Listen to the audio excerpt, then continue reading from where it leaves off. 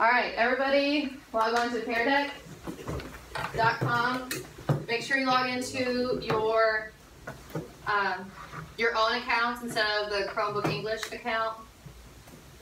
While you log on, I'll take attendance.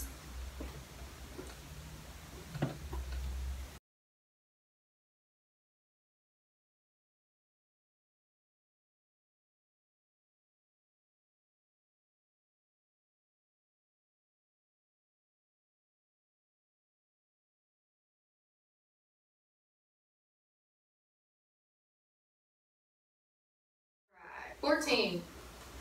Let's go. All right. So today we're going to talk about types of characters in fiction. Uh, we know the main two types of characters in fiction, um, which are, does anybody remember the first, uh, the two? Protagonist and antagonist. Protagonist and antagonist. Somebody tell me what protagonist means. The main character, usually the good guy. Main character is usually the good guy. Uh, usually the good guy. There are some exceptions to the rule. Remember, we were talking about Maleficent, um, how it kind of flipped the script, and so the main character is actually the person uh, who was more evil. Um, if you look at um, other scenarios such as uh, Scrooge in um, a Christmas character or a Christmas Carol. Um, and somebody else tell me what uh, antagonist is, or who an example of an antagonist. And the person is the bad guy. It's the person that's normally the bad guy, and so what is that bad guy? Um, what makes that character a bad guy? He's causing conflict to the protagonist. Causing conflict with the protagonist. Um, so if you remember that plot diagram, remember I said usually there's that inciting incident we talked about. So with the inciting incident, you have uh, that conflict begin going up that rising action. Well, today we're going to talk about other types of characters and other ways to categorize those other characters, uh, even categorizing further the protagonist and antagonist. So again, protagonist and antagonist. Um, here's a, a good example: Harry Potter and Voldemort. Which one is protagonist? Harry Potter. Antagonist? Voldemort. Um, but if the story was told from Voldemort's point of view, which I think would be really interesting, um, he would be the protagonist, and Harry would be, would then become the antagonist because you have to look at who's my main character, who's telling the story, um, who's the narrator, what point of view is it in, um, to help us find who that narrator is, and then you can really analyze well who is um, the protagonist and who is that antagonist. Um, so can you name some famous antagonists? Um, go ahead and type those uh, in on those dialog boxes. They'll start populating here. We'll look at some of those. So famous antagonists. What kids are cartoon characters? Mhm, Cartoon characters. Um, yeah. So remember, they're antagonists. There could be cartoons, movies, books, short stories. It could even be a, a true antagonist, if you will.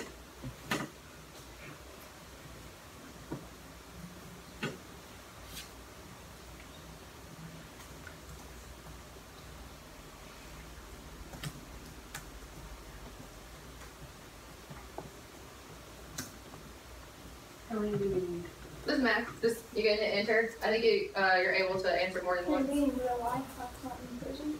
Mm, as long as somebody like commonly known.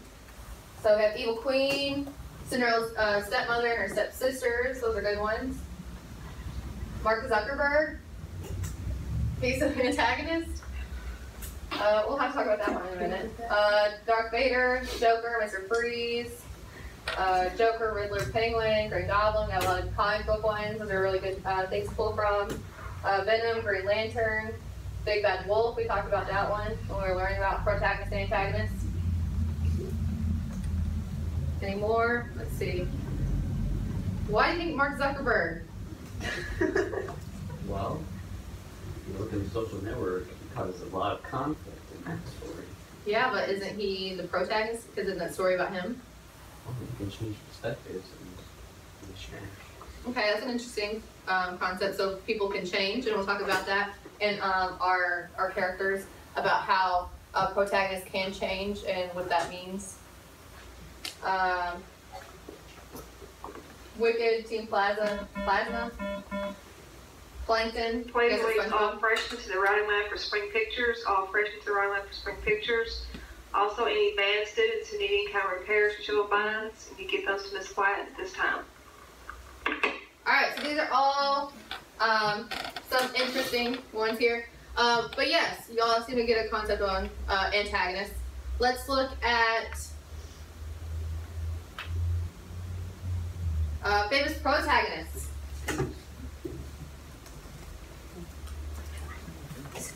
So let's see some examples of uh, famous protagonists.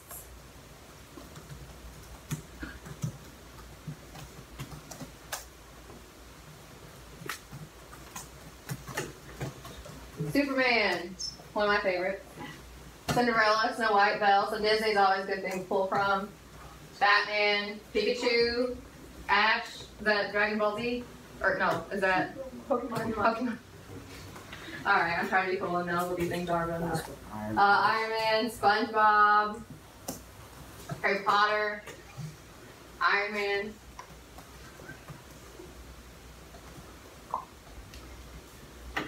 Got any more? Alright. Luke Skywalker, Spider Man, the Ash guy again, Hulk, Goku, that's Dragon Ball Z, okay. Um, Ron Weasley, Steve Jobs, kinda. Kill me. The social network. Um, like something. Alright. Everybody answer something. These are good examples of protagonists. People uh, who are usually the good guys. Um, but again, it also depends on the story you're talking about because um, there are uh, evil Spider. What is it? Venom? Is Venom evil Spider-Man? Something like that. There's alter egos of superheroes a lot of times in these universes. Um, and then there's alternate stories, like in Maleficent and uh, Sleeping Beauty, where they kind of switch perspectives. Uh, so always really look at your point of view. Who's my main character? Um, if it's first person, who's my narrator? Um, and what is this plot all about? So now we're going to take it a little step further. Um, we're going to learn about other characterization of characters. So even within a protagonist and an antagonist, like you were saying, um, characters kind of change throughout. You can have static, dynamic, round, or flat characters, and we can add that um, to their characterization. So we're going to watch this video. It's going to give you a, a little short um, overview of what these uh, new types of characters are. Um, let me make sure my volume's up and you can hear this.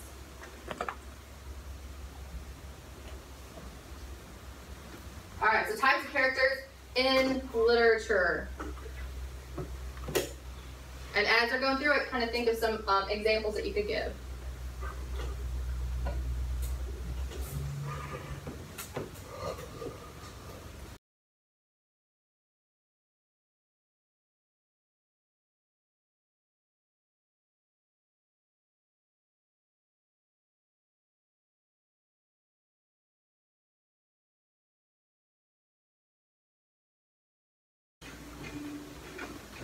All right. So we have um, now we have dynamic and static, round, um, and flat characters to add um, to these character types. Now sometimes characters can be more than one. You can be a protagonist and be a round character and a dynamic character all at the same time. So sometimes they have many characterizations when you look at um, types of character. We'll be going over those um, in more detail. So static characters. Uh, these are characters, uh, like I said, that um, stays the same throughout the story. So, uh, in my example here, in The Lion King, hopefully we're all familiar with The Lion King, um, you have Scar. Now, even though Scar is an important character, the importance in this doesn't really matter as much as it does that that character does not change. So Scar doesn't really change. He doesn't see the error of his ways. He doesn't see that uh, killing Simba's poor daddy Mufasa is a bad thing. He doesn't feel remorse. He's a very um, static character. We still know a lot about him, um, but he doesn't really have that emotional change that a lot of uh, characters do. And so a lot of times, uh, your antagonists, where they're not always static characters, they're more likely to be static characters than a, a protagonist would be. Because a protagonist being the main character, you usually get to see inside their mind and their emotions a little uh, more than you do your antagonists. Um, so Scar would be one example. So I want you uh, to draw an example of a static character, just a, a quick sketch of a character that would be considered static. So this can be from cartoons, um, to movies, to books. It doesn't have to be a, a brilliant drawing of the character, uh, just something to where I can kind of see what you're trying to go for. And if you have to, you can kind of spell it out a little bit. Uh, uh, a minion. Mhm. Yeah, uh, at least in Despicable Me, they would be considered a static character. They kind of get their own personality a little in their own movies.